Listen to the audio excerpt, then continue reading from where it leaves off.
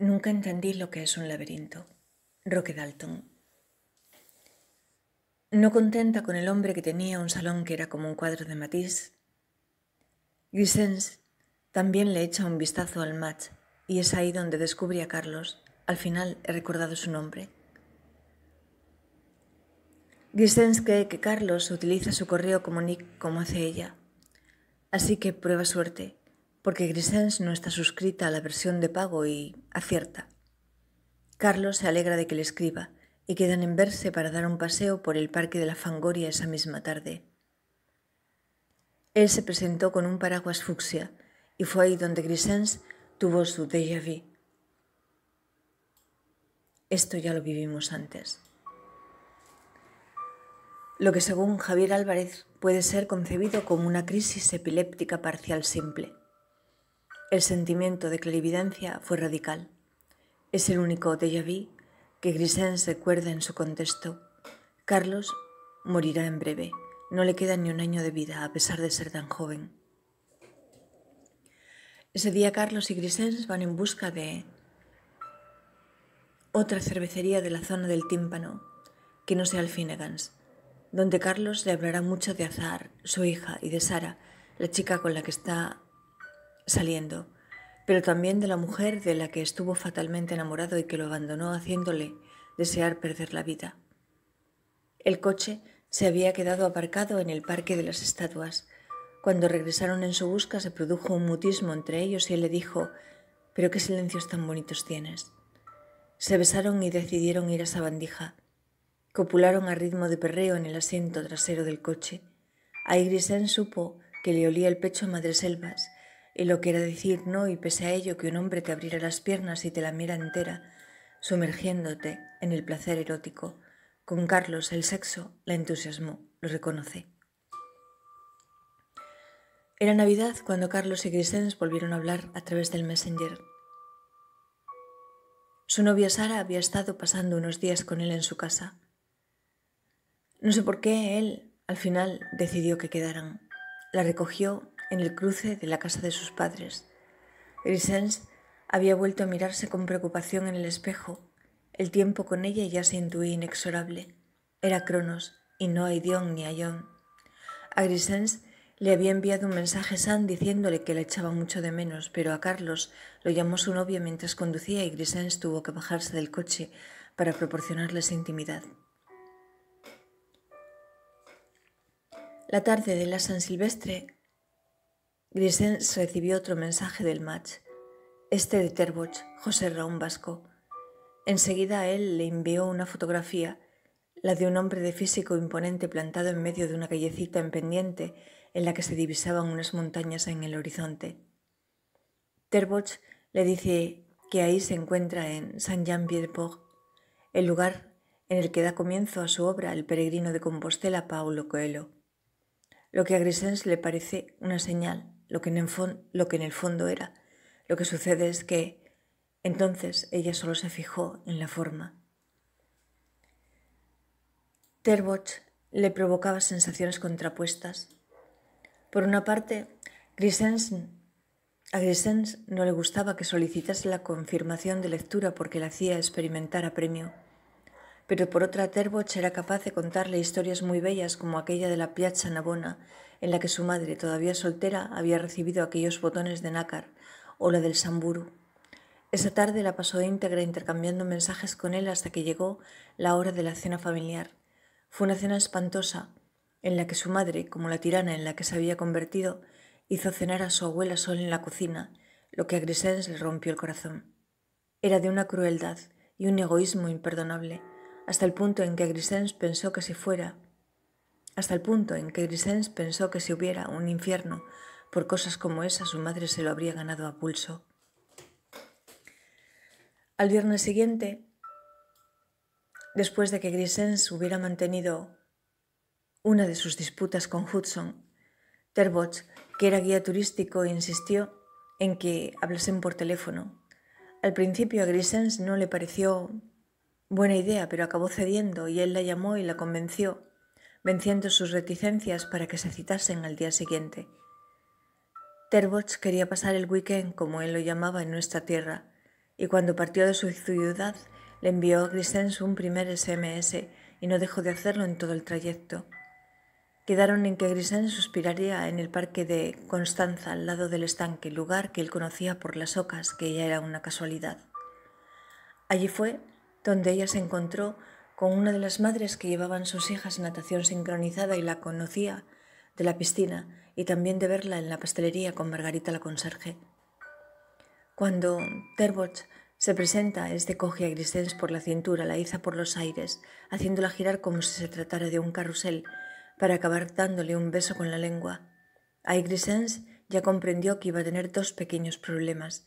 El primero que la boca de Terboch no era de su agrado y el segundo que a él no le importaba en absoluto su reputación. Reputación. A pesar de que sabía que estaba casada al igual que creo que lo sabía esa madre que los miraba sin poder dar crédito a lo que veía. Grisens logró más o menos explicarle por qué debía de frenar su ímpetu para con ella en la ciudad origen y anduvieron hasta su coche que había aparcado en la calle Guzmán de Alfarache. Terboch le preguntó dónde quería comer y Grisens le sugirió, le sugirió que fueran al pueblo de Silo. Ahí fue donde Terboch le empezó a hablar de la importancia del envoltorio en las relaciones, que era eso que estaban haciendo. Él no tenía 39 años, como aseguraba en su perfil, sino 44. Le enumeró las citas que había sostenido en los últimos meses y hasta años, y le contó con quién las había sostenido. No tenía mucha importancia porque Grisens no conocía a ninguna de esas mujeres de las que él le conversaba, pero le pareció un detalle como poco impertinente. Después de la comida, Grisens le sugirió, en esta ocasión, que se desplazaran a Alcances para tomar el café, pero él mencionó la necesidad de reservar pronto habitación en un hotel que no fuera muy caro cuando ella todavía no había decidido que pasaría la noche con él. En su bolso solo llevaba las gafas, el líquido y la cajita de las lentillas por si acaso fuera a ser necesario. Así que se movieron en dirección a la ciudad de Falbalá, donde Grisens pensaba preguntarle a Susana por un hostal que ella conocía en la avenida de Mateo Alemán y de paso hacer esa llamada a alguien cercano por si le sucedía algo con Terboch. Todas consigo no las tenía. En la ciudad de Falbalá aparcaron en el parque de la calle Capicúa y se dirigieron hacia la voz del viento en el cerro del Alcoyano, atravesando la playa del Albatros y la ciudadela. Una cosa muy incómoda que le sucedía con Terboch es que él iba metiéndole mano en todo momento como si en vez de un hombre maduro fuera un hooligan o un adolescente, pero Grisens estaba inmersa en la experiencia y postergaba sus juicios hasta la hora de la escritura. Mientras tanto vivía con mil ojos y mil sentidos abiertos la realidad que fuera. Acabaron tomando algo en el puerto marítimo y hablando del cine de Almodóvar y sobre todo de Hable con ella y de Marisa Paredes. Por fin ya que la conversación fluía gracias al vino ingerido en la comida y a las mistelas de las que disfrutaban en esos minutos, Grisens se decidió a pasar la noche con él. Y llegada la hora de buscar ese hotel, Grisens llamó a Susana, que creo que supo captar su preocupación secreta, a pesar de que Grisens realizó esa llamada delante de Terboch, pero no dieron con el portazgo, dieron en cambio con el Hotel Póveda, que Terboch eligió como buen conocedor de la oferta turística porque supuso que tendría un precio razonable y contaba con un parking a dos pasos. Terbots le dijo que prefería pagar con tal de que su coche durmiera a buen recaudo, y a Grisens le pareció perfecto. El Hotel Póveda se percibía que era un hotel al que iban las putas, por la rumia que se gastó el conserje y por aquella colcha inmunda que hasta mucos parecía que tenía pegados. Terbots le preguntó ¿Quieres que hagamos otras cosas ahora o prefieres salir a cenar antes? Grisens pensaba invitarlo en el chino de la calle Almanzor, que era el que solía frecuentar con Koga, y le dijo que prefería salir a cenar. Pero él comenzó a besarla y a quitarle la ropa. Ella no se resistió, se comportaba como se comportaba siempre en el ámbito del matrimonio, pensando que era una obligación o un deber aunque no le apeteciese esa enfermedad que es la enfermedad a la que nos somete el patriarcado y con la que nuestras propias madres colaboran. Grisens respondía a las caricias y besos de Terboch por inercia, y en ese momento ya sé que no era yo.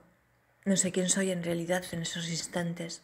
Hay algo violento en mí, una agresividad pasiva que nubla mi mente y que es probable que muy pocas personas identifiquen con la agresividad. Aquí hay mucho frío, hay un aislamiento absoluto de la función sentimiento. No tengo ni un solo sentimiento que pueda reconocer como tal, ni una sola emoción que no sea la del desapego o de la ira. En todo caso, y ahora meditándolo, pero una ira gélida, destructiva y contenida, y yo diría que también hay un aislamiento absoluto de la función sensación. Terboch, tan presuntuoso como era, la masturbó como un cocodrilo, como si solo tuviera fauces, por las que vertía aquel chuchito que tanto la asqueaba, pero aún así le chupó la polla, que tenía un olor y un sabor muy desagradable, esperando que no fuera gonorrea, mientras elaboraba un plan de huida. Terboch llegó a penetrarla, entonces ella se retiró y lo apartó comenzando a vestirse sin mirarlo, cogió su bolso y se encerró durante un minuto o quizá menos en el baño, lo justo para comprobar cuál era su estado en el espejo. Él ya se había vestido también casi por entero. Grisens dijo yo me voy. Giró la llave y salió corriendo por la puerta, pero corriendo de veras por toda la calle, hasta que se creyó perdida entre la multitud y escuchó su voz llamándola. Entonces echó a correr otra vez y no se detuvo hasta que el semáforo frente a la antigua estación de tren la frenó. Ni siquiera se paró a sacar un billete en la ventanilla. Subió detrás de unas mujeres al tren con destino a la ciudad origen porque ellas la advirtieron de que podía perderlo, esperando que el revisor aceptase que le pagara el trayecto sin ponerle ninguna traba. A medio camino comenzó a mensajearse con Sam. Él iba a ir a buscarla, y por temor a que Terboch hubiese cogido su coche y la esperase al pie de la estación, se bajó dos paradas antes, en un descampado. Fue un error porque Grisens aquello no lo conocía, pero San supo llegar hasta ella. Era patética. Se había visto, además de en el espejo del baño del Póveda, en la ventanilla del tren. Tenía todo el aspecto de haber sobrevivido a una batalla. Pero lo más horrible era lo sucia que se sentía. Nunca antes que yo recuerde se había sentido así a pesar de lo sórdida que había llegado a ser su historia con Hudson. Sam la llevó a su casa y la cuidó con mucho mimo. Grisens no se duchó a pesar de todo. La aventura la sostuvo con él. El envoltorio era la mala experiencia por la que había pasado. Ahí le concedía un valor como hombre. Sam se experimentaba en una cúspide. Grisens únicamente le puso una condición.